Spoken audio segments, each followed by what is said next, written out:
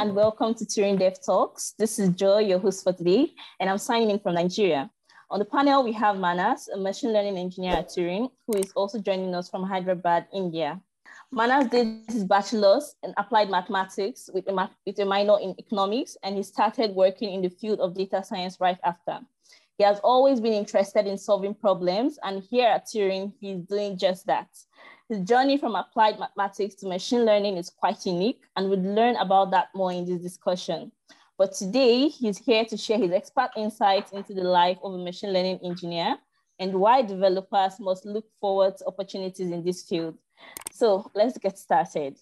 Hi, Manas. First of all, thanks a lot for joining us today. How are you doing and how is work treating you? Hey, Joy, I'm doing good. Thanks for having me here. I just got back from the gym actually. So ready to get some work in now. Awesome. Looks like you are maintaining quite a healthy life, um, work-life balance while working for Turing. It's always great to hear such stories from our developers. So without further ado, let's get started into our discussion. So um, what exactly is a machine learning engineer and how is it different from, say, a software engineer? Uh, so the role of a machine learning engineer varies from company to company it's an amalgamation of a software engineer, a data scientist, and a data engineer in some sort of way. So the primary objective of the machine learning engineer is to make the lives of the data scientists easier by setting up end-to-end machine learning development infrastructure, uh, which can help them design, build, maintain reproducible, testable, and like ML-powered uh, software. So an ML engineer should ideally have a good grip on data structures and algorithms, just like a software engineer. They should have the knowledge of the machine learning models, like the data scientists. And they should ensure that there's a good data flow between databases and backend systems, just like the data engineer. Right. And with the increasing automation of software engineering, it seems machine learning engineers will drive the companies. What would you say to that? While AI is increasingly used in the field of computer science to augment the skills of professionals like software and machine learning engineers rather than replacing them outright, the truth is that machine learning engineers and software developers should understand that the future of AI isn't complete automation, rather, automating specific and often repetitive and mundane tasks to help the human engineers work faster and more efficiently. So, in essence, AI is going to help human engineers rather than threaten or uh, burden them. So to maintain these sort of AI solutions, it would require ML engineers to, you know, productionize these kind of uh, solutions. Okay, so now that you've told us what uh, machine learning engineers are, can you shed some more light on the duties and responsibilities of a machine learning engineer? So the roles and responsibilities vary depending on the size of the organization. So an ML engineer would most likely be part of a larger data science team, which may include data scientists, analysts, and data engineers. But beyond the data teams, machine learning engineers also collaborate with like variety of different stakeholders, straight from like the business leads to the marketing, sales, engineering teams, depending on the level of seniority, of course but it's a highly cross-functional uh, team. So the specific duties can include uh, deploying machine learning solutions to into production, some aspects of data engineering, such as ensuring good data flow between databases, backend systems, building ETL pipelines, etc., and optimizing solution for performance and scalability. So there's a good chance that the machine learning engineer in the company is working on advanced technological solutions on how to scale AI so if you want something to be computed end to end, that includes from fetching data, generating features, and predicting the outcome in tens of milliseconds, that's going to require some deeper engineering in order to uh, be able to adhere, adhere to those constraints. Great. You seem to have covered it all. And so, on the side note, how did you start out as a machine learning engineer or as a software engineer? So, I had extensive software engineering experience prior to joining Turing, and I joined as a data scientist. So, as I explained earlier, right, it's an amalgamation of all these roles. So, the software engineering experience helped me, along with the data science, you know bent of mind of analytics and understanding data in general and then i transitioned into ml engineering okay manas so there are a lot of misconceptions around machine learning what would you say are some of the most common uh, misconceptions about machine learning?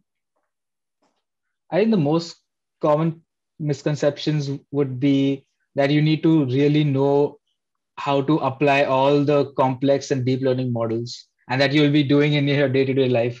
Because honestly speaking 90% of the projects don't require you to build complex models those projects mostly involve a lot of data engineering data analysis and hearing insights from the model rather than the process of building the model itself. So focusing on the theory behind simpler models such as regressions decision trees support vector machines and etc would be more fruitful. The other misconception is that companies only want to hire data scientists or machine learning engineers that have advanced degrees in machine learning uh, because there's so much there's so many opportunities machine learning brings to the table companies are going to look to hire engineers that have experience in software and data engineering so as long as one has sound knowledge of the maths behind machine learning models. They are well versed with statistics, have great software engineering skills. They can become ML. They can become an ML engineer without the need of a specialized degree in machine learning or data science. Oh, that's interesting. Now, these misconceptions might be some of the reasons why people look at machine learning engineering as a very daunting task. And on that note, Manas, what would you say are some of the characteristics of a successful machine learning engineer? Well, a successful machine learning engineer should have uh, solid computer programming skills. So they should be able to understand the specifics of the languages such as C++, Python, Golang, and in which case should one opt for them. One of the most common mistakes I see people make is that they tend to default to a particular programming language just because they're most familiar with it, even if it's not the most optimal uh, for the use case. So an ML engineer should be also familiar with the best engineering practices, just such as writing solid code, knowing how and when to use which design patterns, and a good understanding of software architecture, how to well document the code, because their code is the one that will be productionized. The other characteristic would be to have a sturdy foundation in math and statistics so an MLNG is also required to run some experiments to assess whether newer models are actually performing better than the previous ones. If a new feature being rolled out actually positively impacts the business metrics. Therefore, it's important to have a good understanding of how you, you should run A B tests and how your results can be statistically significant or not. The last thing I would like to say is that there should also be creative problem solvers because when you need to optimize solution for performance and scalability that's when the engineers with out of the box thinking really separate themselves from the others. You really need to get creative with the solutions that you're implementing and especially when factors such as latency affect the user experience quite a lot. Sounds great. Now to all developers watching this video here is what you need to know to become an amazing machine learning engineer you must be well versed with programming, not just good, but great at maths. You should also be creative at solving problems and must have a strong intuition about data. Now, Manas, we've talked about various aspects of machine learning engineers, but I think our discussion will be incomplete without learning about where the industry is going. Could you shed some insights on that? So I believe that in the next five to 10 years, a regular full stack engineer or any engineer would be expected to be able to work with data in the same way as they are working with the current web frameworks. So, with machine learning being at the core of what the World Economic Forum now calls the fourth revolution, fourth industrial revolution, it will become a part of every engineer's daily vocabulary. So, there is a wide range of projects and domains that require various expertise. But ultimately, there is still a huge gap between the supply of machine learning engineers and data scientists. As new companies enter the space, they're quickly finding out that the two major com- concerns when it comes to uh, the supply of the talents are quantity and quality. So quantity, basically finding engineers with experience in machine learning, optimizing and scaling solutions, data engineering, and a strong understanding of software architecture is really like finding a needle in a haystack.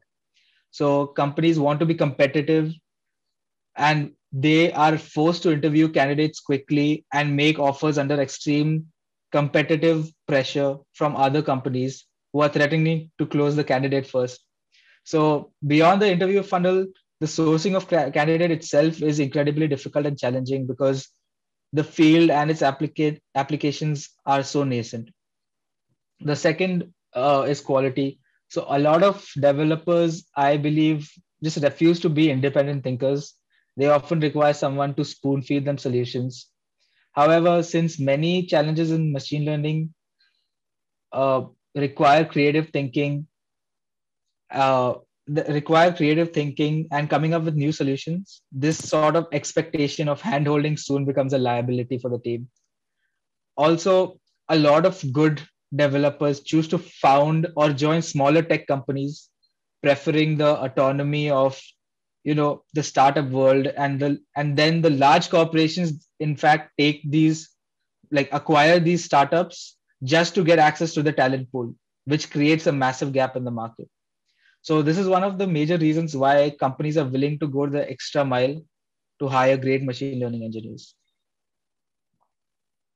interesting i'm sure this would give our developers a good idea of what they should learn in the coming year and here I'd like to call upon all senior developers who are willing to work remotely with companies in the US. We have jobs in 100 plus technologies, including machine learning and artificial intelligence. If you're confident about your skill sets, head on to turing.com slash jobs and apply now. Manas, this has been a super informative talk, but I believe we are coming to the end of this session. So before we let you go, could you give some advice to developers who are looking to progress or transition into machine learning engineering? Why should they pursue a career in machine learning in 2022?